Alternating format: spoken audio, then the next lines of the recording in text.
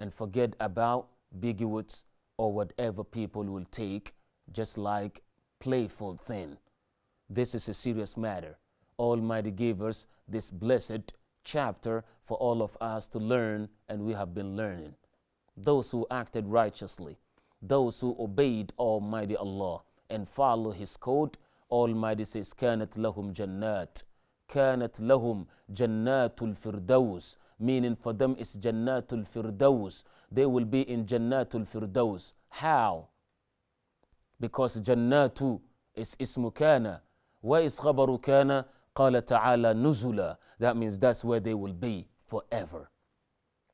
Khalidina fiha. Remaining therein forever.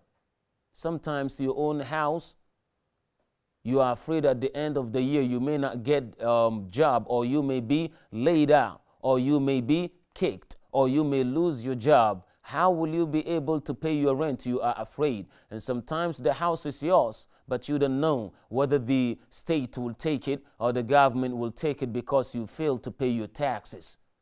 The good thing about Jannah, no taxes paid. It's yours for real. But in this dunya, even you say it belongs to you, it's not true.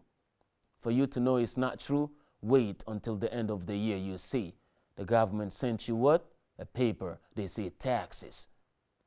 It sounds nice, doesn't it? But you play with it, your house is foreclosure. This is the reality of life. But as for Jannah, Almighty says, Khalidina fiha, you be there in forever, therein forever.